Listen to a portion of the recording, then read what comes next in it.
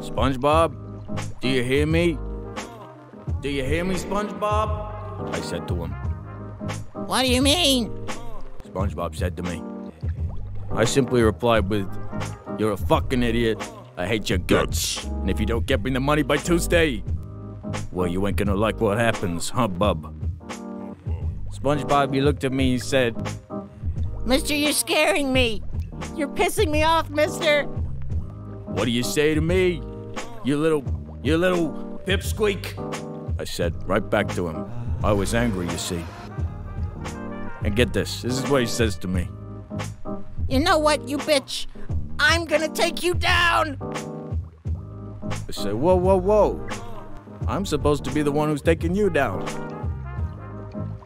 He looked at me and he said, What is your problem? I gave you everything. I didn't know what to say. What are you supposed to say to that? I think I was in love. I don't know what to say, even to this day.